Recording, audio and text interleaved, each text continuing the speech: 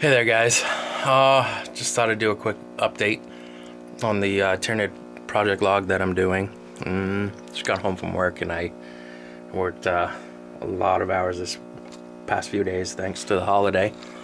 People just don't want to stay home, don't want to stay healthy, but whatever.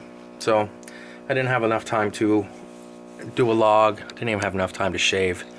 Um, so here's my log at 1 in the morning.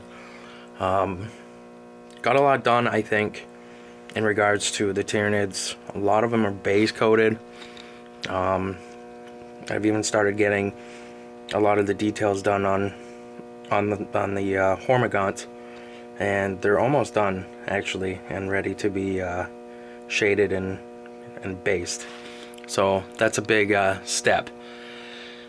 They're the massive horde of the Tyranid part that I had to build and I think I don't I don't remember now. It's starting to kind of all blend in together but anyway I'll show you what I got going.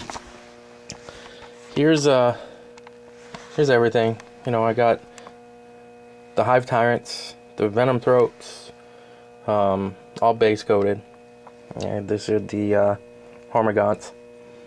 they're all base coated and I started painting up the details. I even did one as a test model just to see how it would how it would look. I think he actually really came out very well.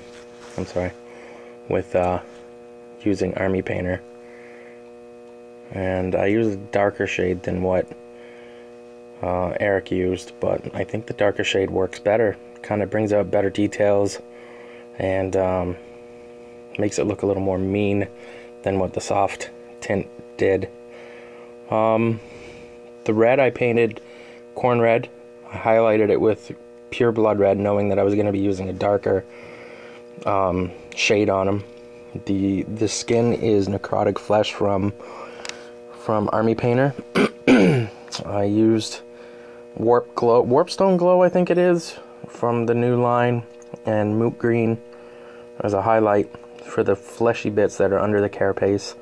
The horns and the uh, the teeth and the bones and stuff and the talons. I painted. Uh, I started with Rakarth flesh and um, highlighted with straight white, knowing that the uh, army painter would kind of shade naturally. I think it looks actually really good for, and you put a 30 of these together in a horde, they're gonna look great. Um, so I hope Eric kind of and everybody likes the uh, likes what they're seeing with the progress. Um, it is being a little slow, and I always feel guilty when I say that it's being slow because people want their stuff fast and people want their stuff good. You know, I I, uh, I tend to kind of internalize the painting and almost try to make it my own. Where probably shouldn't be doing that. Um, this weekend Friday night, I was able to stop in at the hobby shop and talk to the older hobby shop I went to and talk to an old buddy of mine who did some uh, commission painting before. He gave me some good tips. And um, I think the uh, process this week is going to be a lot quicker now that I know what I'm going to be doing and know how to not so internalize something and just kind of paint for what the customer needs and not pour my heart into it like I do my own armies. So, uh, this is what ne- what's next to get primed. Uh, Devourgaunts. And I think there's like 36 Genestealers, which are going to be primed and base coated this week as well. Um, just because they're going to be a lot easier to paint.